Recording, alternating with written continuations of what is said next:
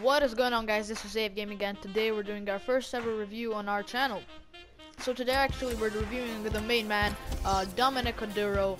Uh, you basically know him that he's a speed speed motherfucker, 95 pace.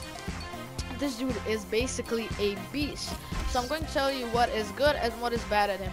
So um, I have his striker version. I bought his center attack and mid version, then I transferred it to a striker.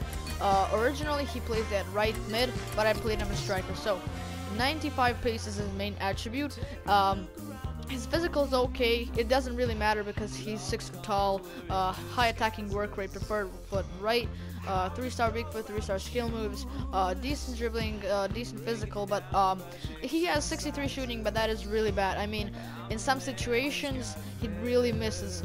But anyways, this dude is definitely worth the coins.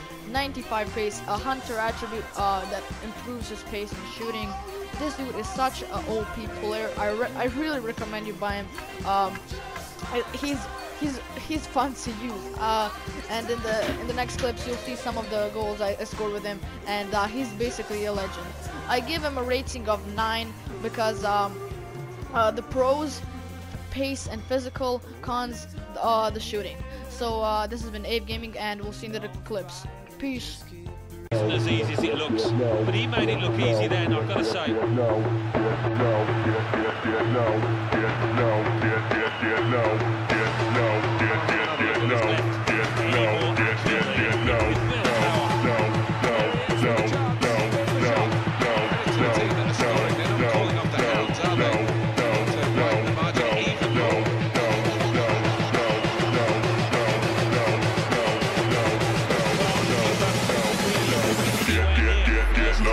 Let's go.